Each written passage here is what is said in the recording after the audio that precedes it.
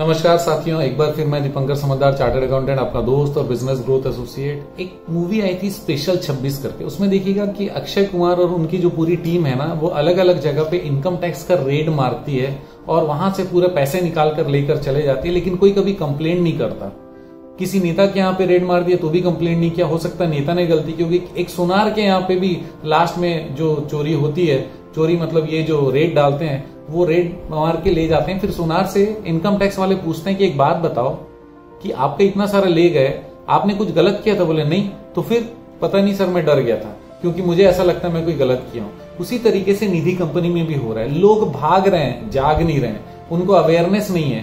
केवल उनको ये लग रहा है कि भाई ये चीज़ नहीं हो रहा है, इसका मतलब ये होगा नहीं, इसका मतलब मैं जा रहा हूँ, मेरे को तो ये वाला काम नहीं करना चाहिए। चलो, तुरंत अल्टरनेटिव खोज लेते हैं। तो ये कॉमन मैन का ये फितरत रहता है, कोई भी कॉमन व्यक्ति का। लेकिन जो बिज़नेस करने वाला है, वो व्यापार भी सही रहे और उसके साथ में रास्ता भी सही रहे, ये दोनों चीज़ों को देखने का प्रयास करता है। तो रास्ता क्या निधि ज़बरदस्त रास्ता है। एनडीएच फोर नहीं दे रहा है तो उसके खिलाफ में बहुत सारी चीज़ें की जा रही है। हमारे द्वारा भी, वो मैं आप लोगों का शेयर करने वाला हूँ। लेकिन आपको ये पता रहना चाहिए कि आपको जाना नहीं है, भागना नहीं है, बहुत अच्छा चीज़ है। सर, जब आएगा ना, तब मैं आ जाऊँगा।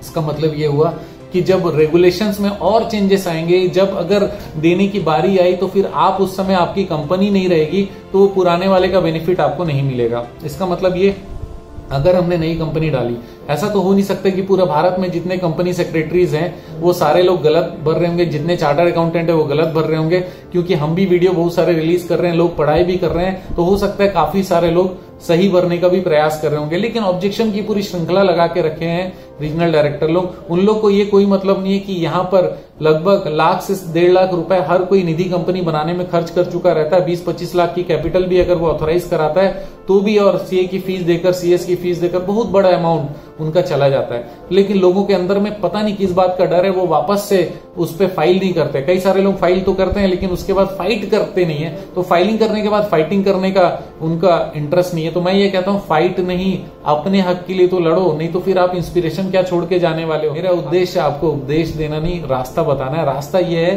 कि हम लोगों ने पिछले दिनों में हमारा जो एसोसिएशन है, Fayda finance advisory and idea development association इसके ज़रिए हम लोगों ने ऑल ओवर इंडिया में कुछ चुनिंदा एडवोकेट्स लोगों से बात की, उनसे कंसल्टेंसी ली और हमारे सारे जो डाउट्स थे और जो कारण जिसके कारण रीजनल डायरेक्टर ऑफ़िस से ये रिजेक्शन होके आ रहा था और हमने कई सारे हमारे क्लाइंट को भेजा भी था रीजनल डायरेक्टर के पास कि उनका मंशा और उनका सोच क्या ये पता चले और वो हमको पता चल गई।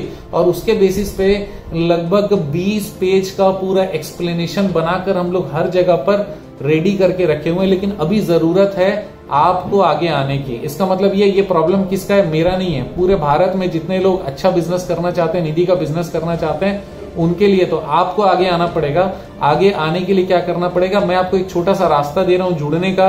हमारे इसी वीडियो के नीचे मैं आप लोगों को एक लिंक दे रहा हूँ, जिस लिंक में क्लिक करके आपका अगर रिजेक्शन हुआ एनडीएच फोर चाहे पुरानी कंपनी हो, चाहे नई कंपनी हो, उसमें अपने रिजेक्शन लेटर अपलोड कर सकते हो और जो जो पॉइंट्स है सबका जवाब देकर आप उसको सबमिट बटन दबाओगे तो वो सारा रिस्पॉन्स हमारे पास में आ जाएगा और हम लोग जहाँ जहाँ पर भी कार्रवाई कर रहे हैं, वहाँ पर हम बता पाएँगे कि इतने सारे लोग परेशान हैं। जितने लोग परेशान नहीं है, वो यहाँ पर क्लिक ना करें, क्योंकि अगर आपको सच में लगता है कि नहीं, सर, मैं मूव ऑन कर गया हूँ अब ये गर्लफ्रेंड नहीं पटी तो दूसरे के लिए खोज करूँगा, लेकिन पहले वाले का कारण नहीं पूछा तो बाद वाले भी जाने वाली है। अभी आपने निधि को छोड़ दिया क्रेडिट कोऑपरेटिव में चले गए तो हो सकता है कि कमाई उसमें बहुत कम हो, वहाँ पर 18 परसेंट से ज़्यादा ना कमा पाओ, वहाँ पर और कोई लिमिट होगी तो उसके अंदर में करना पड़ेगा। आपके ऊपर में पूरे जो स्टेट गवर्नमेंट का प्रेशर बना रहेगा, और लाभ कमाने के लिए वो है भी नहीं नॉन प्रॉफिट वाला है, और आप उसमें काम करने का प्रयास कर रहे हैं, क्योंकि काम करना है। For the sake of doing work मत करिए for the sake of doing business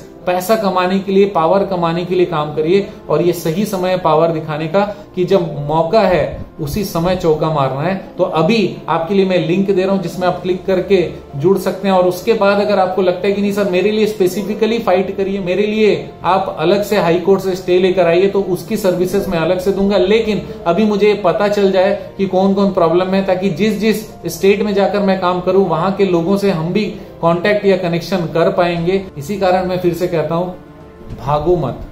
जागो। आप जानते मेरा मिशन है। हमेशा आप लोगों की मदद करना और समय पर सारी जानकारी देना। मिशन से जुड़िए और अपनी मदद करिए। आपका दिन ज़बरदस्त और